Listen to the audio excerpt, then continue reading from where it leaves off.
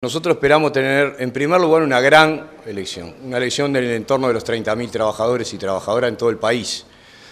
Vamos a votar la Dirección Nacional del ZUNCA, vamos a votar las direcciones departamentales y vamos a votar las direcciones de las ramas, esto es peaje, extractiva, cerámica y hormigón.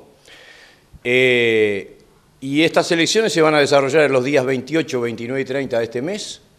en el horario de 7 a 18 horas, pero con la, con la excepción de que las urnas que sean necesario llevarlas fuera de ese horario para que los trabajadores voten en su centro de trabajo, van a ser enviadas para que efectivamente se,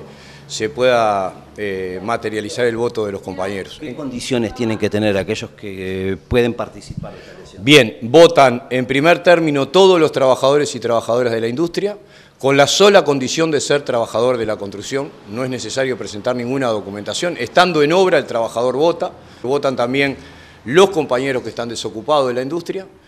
y votan también aquellos compañeros que están en situaciones, por ejemplo, de banco de seguros, FONASA, DICE, etcétera, así como también los jubilados de la industria de la construcción que pueden ejercer el voto en estas elecciones nacionales del sindicato. Se presentan a nivel nacional cuatro listas, dos de las cuales hoy integran la Dirección Nacional del ZUNCA, son listas de carácter histórico en la contienda electoral. El compañero Daniel Diverio encabeza nuestro actual secretario general, encabeza la lista 658,